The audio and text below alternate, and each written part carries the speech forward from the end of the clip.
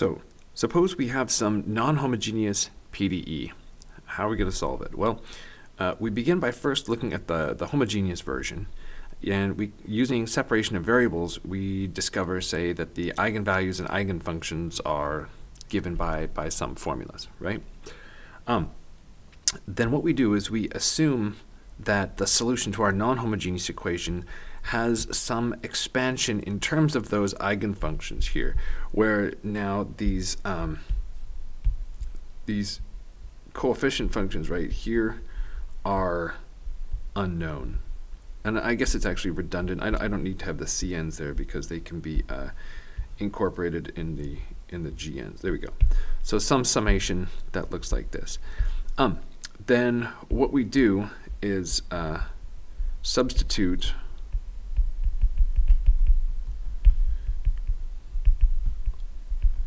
this expansion into the uh, PDE. So in other words, um, we, we uh, stick that into LU equals F, and then that will set up an equation on the GNs.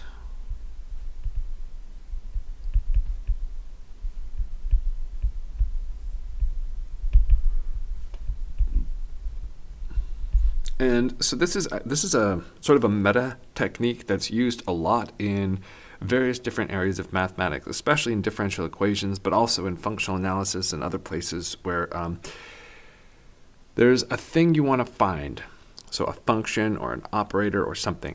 You make a general um, assumption about the shape of its like its form, and then you plug that into whatever equation it's supposed to satisfy and that equation ends up telling you what the specifics are about that general form. So an example of this is looking for power series solutions. You assume for, you know, you're solving a differential equation, you assume that your differential equation solves a power, uh, you know, has a, has a power series form. So you think, okay, so u looks like an x to the n, and then you substitute that into your ODE, and then out of that, it gives you some formula for the ANs that you can then solve. And then once you've solved those, uh, you know what those ingredients in your original uh, form were, and you can write down a specific uh, example. Um, so this kind of thing comes up all the time. Uh, if, like I said, if uh, for, for non-self-adjoint operators, maybe you want to find what the adjoint of a given operator is, so you can do the same kind of technique there uh, so on and so forth. So I guess uh, the method of undetermined coefficients um, for, for finding non-homogeneous solutions in uh, uh ODE class is uh, another example of this. So let's see. So um, let's look at a particular example. So suppose we've got ut minus ku xx equals uh, f, and we'll work on the interval from 0 to pi with t positive, and um, we'll take u at 0 and u at pi to be 0. So we have homogeneous Dirichlet conditions. And we'll take a 0 initial condition too just to keep it uh, simple. Then let's see, so from this problem, we know uh, from, from past analysis that the eigenvalues are going to be n squared and that they have corresponding eigenfunctions that look like uh, sine nx. Um, so then we make an assumption uh,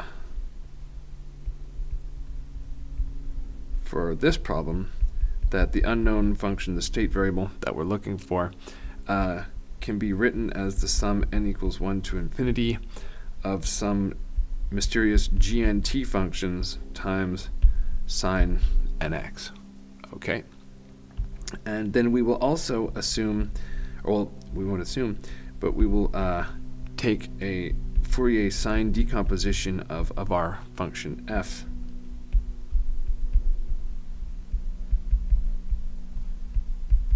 So there's going to be some FNTs here and the same uh, eigenfunctions here. So what we have right here is, is an eigenfunction expansion of the source term. All right. So now we uh, substitute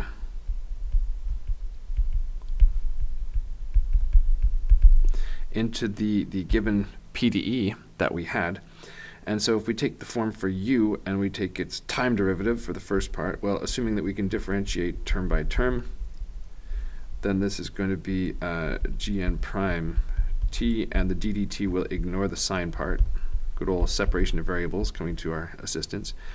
Um, and then we have minus k times the second derivative with respect to uh, the spatial variable. So that's going to ignore gnt, leave it right there. Um, and then that would kick out a minus n squared sine nx. um, and then we will have uh, on the other side fnt sine nx. And it's important to um, point out here that the, uh, the, the f's are known, right? So this the f's are part of the this is this is uh, given data. Um, so we can find those uh, those fn's.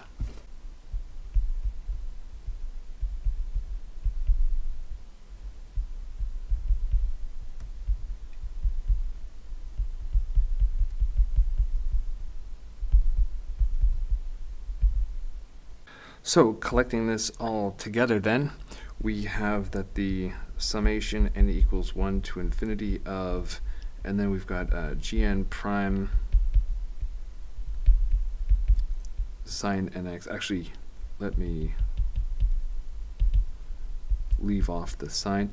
Uh, minus or plus kn squared gnt minus fn t sine nx is equal to 0. But we know the sines are linearly independent uh, because they're all uh, mutually orthogonal. So that allows us to extract the equation, and let me leave off the, the t's, um, gn prime plus kn squared gn equals uh, fn. All right. And so now uh, this can actually just be solved as a first order linear ODE with an integrating factor.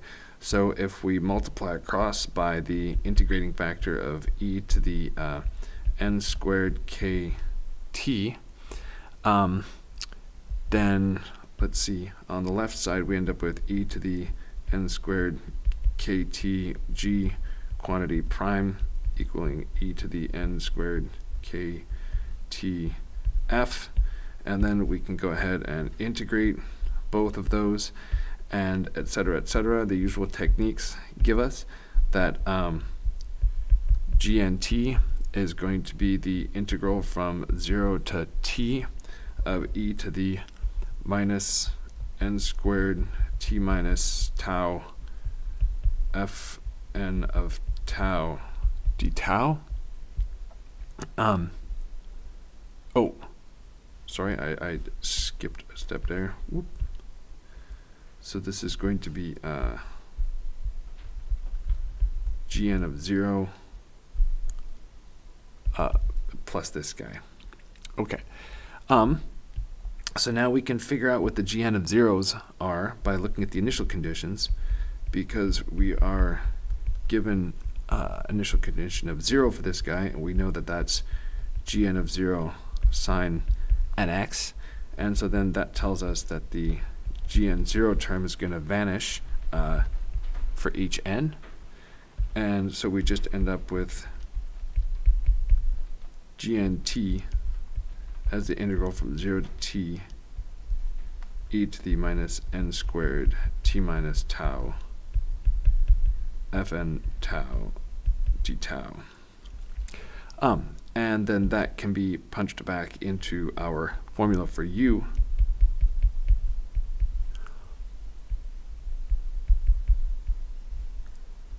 And so our coefficient looks like this integral